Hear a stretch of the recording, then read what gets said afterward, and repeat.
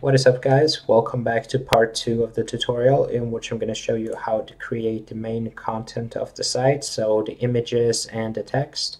So let's get started by adding four new blocks and you want to go with a solid color intro with image. So add four of those. And uh, once that's done, you want to align all the text to the center. And the reason why you want to do this first is because, at least in my uh, version of Mobirise, there's a bug in which if you start editing editing the text before you've aligned it, um, the align button st stops working. So start by aligning the text to avoid that bug. Uh, second, we want to remove the button and we want to change uh, the media on left side on uh, number one and number three. So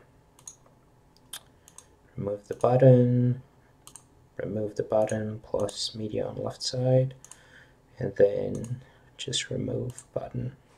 There we go. So with that done, uh, we can go ahead and change the text. So I want to remove the bolding from the text to start off with. Um, like that and then I'm going to change the title to say welcome. I'm just going to quickly change these. Uh, you can obviously put in whatever you want. do, do, do,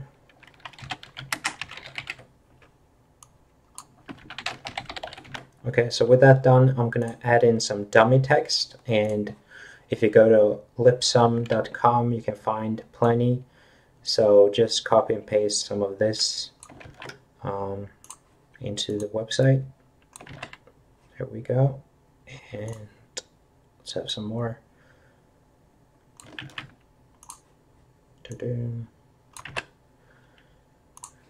And two more. Okay.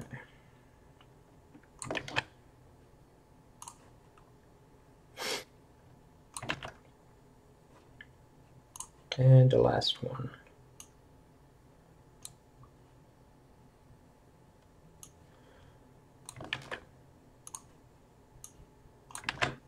So there we go. Okay, now let's change the pictures. So click on the image and change it to whatever uh, whatever image you want. So I'm just going to put in the ones that I had for my website. So let's see, food and um, bed. Then finally the car thing. All right, there we go. So now uh, the, what we want to do is we want to change the font size of the title. I think I'm going to go with something like 30 pixels. Um, I think I think I had 28 or 30 in my example. I can't remember, but 30 will do. Maybe I even had 32. Yeah, I think I might have had 32, so I'll change it to 32 here uh, real quick. Bam. And the last one, 32. There we go. So with that done, what we want to do next is we want um, sort of like the edges of the images uh, to touch each other and the way we do that is we have to remove uh, the padding from the block. Um, if you click on block parameters you can see that you can sort of fiddle with the padding but it has a default value that you need to remove with uh, custom CSS. So click on edit code and unlock the HTML editor and uh, this is the class that you want to that you want to edit. So if you want to do it in the CSS editor, um, you do dot and then paste in this name right here, and then you change it. I'm just going to add it here to save some time. So padding um, 0px, and I'm going to copy this so I can quickly put it in on every single one. So click save, and you can see that that removes the padding. And I'll do it on this one as well. do, do, do. There it is. Paste that in. And then, whoops.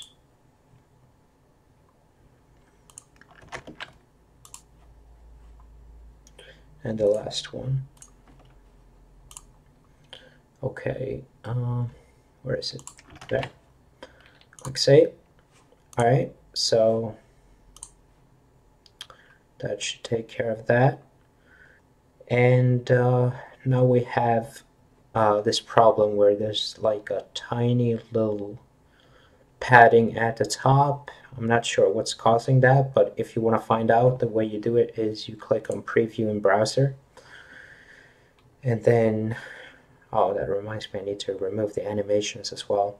Anyways, if you want to find out uh, what this sort of like padding at the top is caused by, you simply right click on the image and select inspect and then you can sort of see, so we can see here that it's the MBR figure uh, that is causing the padding at the top. So if we remove that, it's gonna align perfectly.